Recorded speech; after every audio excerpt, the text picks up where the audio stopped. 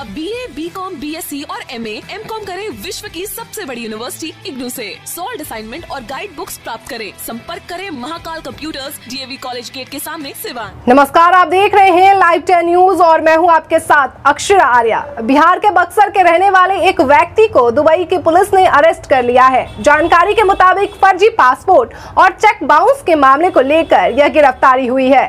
बक्सर के राजपुर गाँव के रहने वाले राजेश सिंह को दुबई पुलिस ने फर्जी पासपोर्ट और चेक बाउंस के मामले में गिरफ़्तार किया है।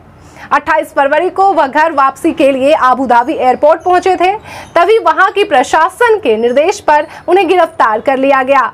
इस मामले के डेढ़ माह बाद राजेश की पत्नी सुनीता सिंह ने डीएम को आवेदन देकर मदद की गुहार लगाई है।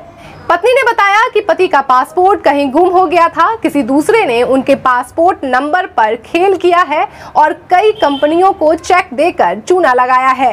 घटना के संबंध में सुनीता का कहना है कि 2014 में बने उनके पति का पासपोर्ट कहीं खो गया था।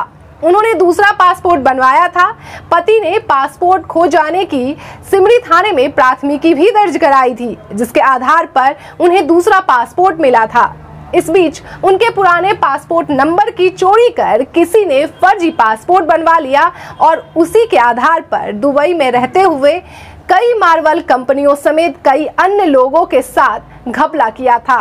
उस नंबर पर तेरह चेक बाउंस होने समेत कई अन्य मामले दर्ज हैं। इधर घर वापसी के दौरान पति के नए पासपोर्ट को दुबई पुलिस ने फर्जी बता दिया और गिरफ़्तार कर लिया। इस मामले में डीएम ने बताया कि महिला का आवेदन मिलने के बाद दूतावास से संपर्क किया गया है। जानकारी मिली है कि राजेश सिंह दुबई में पकड़ा गया है और डीएम ने बताया कि दुबई में अभी जाँच चल रही है।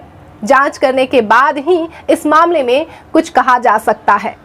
फ़िलहाल इस खबर पर इतना ही देखते रहिए लाइव टेन न्यूज़